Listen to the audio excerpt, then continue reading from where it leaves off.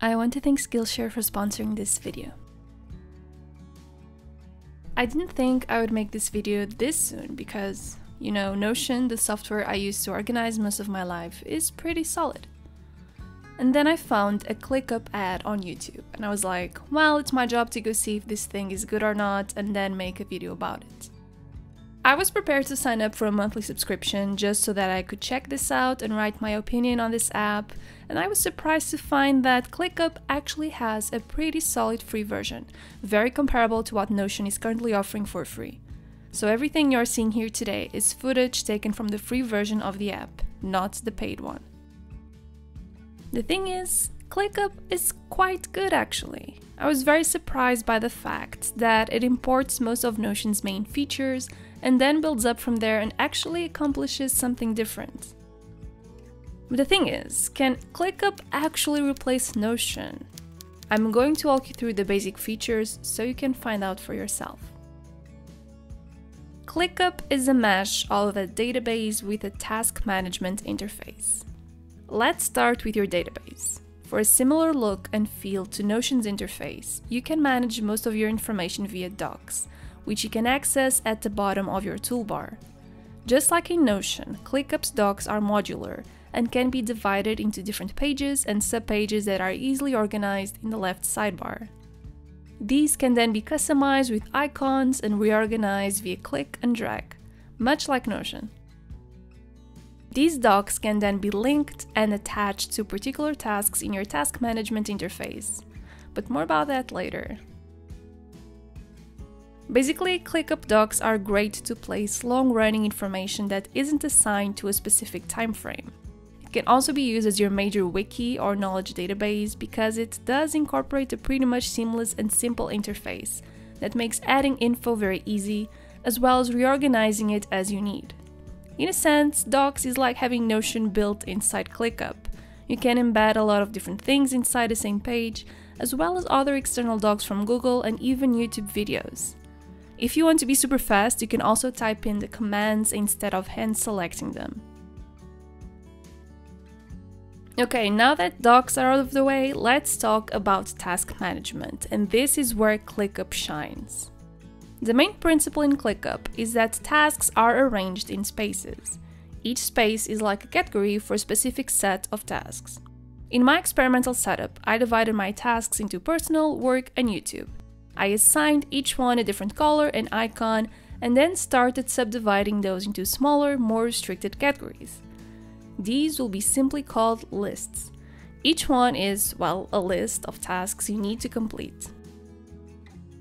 Creating lists with ClickUp is great. Although you can mimic some of these features by using tables in Notion, which is something that I've done in the past and I still do, ClickUp just embeds a lot of very useful tools inside their task interface, and that makes life really simple for you.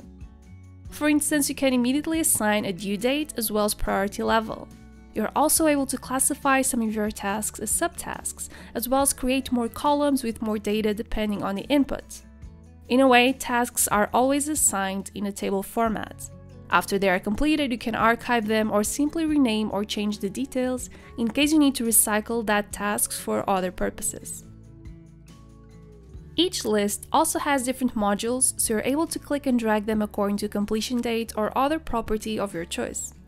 Because of this, you can even create presets for these lists in case you don't want to recreate the same template multiple times.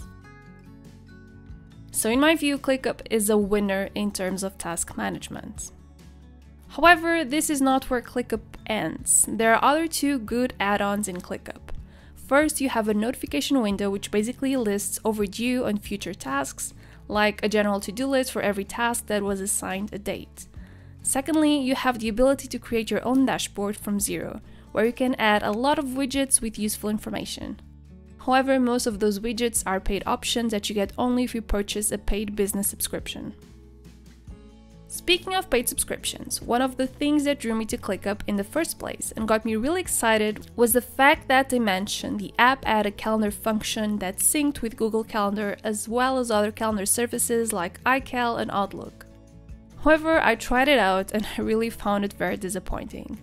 iCal and Outlook only work one way, so that means that you'll see in those calendars what you'll create in ClickUp, but you'll not be able to export what you had in those calendars to ClickUp, which makes this function pretty much useless to me since I don't want to manually insert everything I have in my calendars to ClickUp. Google Calendar supposedly works both ways, by creating tasks synced as events, and then any changes will be reflected in both platforms, but I still find that this doesn't work very well for me. I mean, maybe I'm doing something wrong, that's true, but at least it's not as seamless as I would like it to be, considering they mention it's a full calendar sync. Independently of the lack of full fledged calendar features and sync options, ClickUp does better in terms of time management. Notion has a very simplified approach to time management by allowing you to set inline reminders and insert dates into your tables, but ClickUp is more geared towards assigning tasks to time and scheduling them properly. Even if you can definitely use Notion to work around its limitations, ClickUp does a better job in implementing those time management options directly into its main features. There's also a lot of customization options within tasks. You can set priority, time, notes, progress, team type, subtasks, and attachments. I've written the notes for entire meetings in here while I was trying out ClickUp, and it works perfectly. It allows you to compile all relevant information in one place only. ClickUp also has some cool automation options in a if this then that format. For instance, you can state that when your task status change, your assignee also changes automatically. When you move a certain task to a different location, you can set it up to automatically change priorities and so forth. In general, automations is a game changer if you're working with a lot of tasks and have a difficult workflow, because setting up those automations will ensure that your processes don't fail because you just forgot to categorize, prioritize, or move a task. So here's the deal Overall, ClickUp is flashy and looks great, but I find that it really feels overwhelming in comparison to Notion.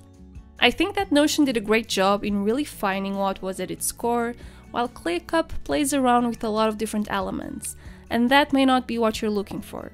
It takes longer to learn and the interface is not very user friendly when compared to Notion. However, when you do learn it, I think that ClickUp is more powerful and the organization options in Notion are subpar in comparison. Also, ClickUp has a solid free version that can be used everywhere. I've been using the web browser to explore it, which means you can access it in any device or computer of your choice. It also looks really good, and the automations feature is a winner if you're working with a complex database of tasks or engaging in a complex project. Overall, task management works like a breeze, although it has a steeper learning curve and document creation is actually pretty good too, as it mimics Notion's general template. That said, I'll keep on using Notion for now. And that's because I really like how simple it is, and my whole life is basically organized and stored in there right now. Also, I'm going to use a paper planner for timed tasks and other scheduled events in 2021, so I wouldn't really end up using ClickUp where it shines. However, I do think it seems to be a strong rival to Notion, and I'm really curious to follow future updates and who knows, maybe I'll switch somewhere down the road. And if you need help finding and building your passion project and then use Notion or ClickUp to organize your tasks, you can watch this class right now on how to go freelance and build and brand your own success. If you want to watch the whole thing, which covers the basics of side projects, marketing, networking, and business fundamentals, all you have to do is sign up for Skillshare to watch this class during your free trial. You usually have those online courses for like more than 100 bucks for one or two hours of classes, and then you have Skillshare, which gives you access to its entire library of thousands of classes for less than $10 a month. And even if you're not willing to start paying that price per month, that's actually not a problem because for a limited time, the first 1000 people using the link in my description box will get you a free trial of Skillshare Premium membership. Using this promo code also tells Skillshare that you came from my channel, which is always nice if you enjoy this content and want to keep supporting it. I really hope you enjoyed today's video and I'll see you next week. Bye guys!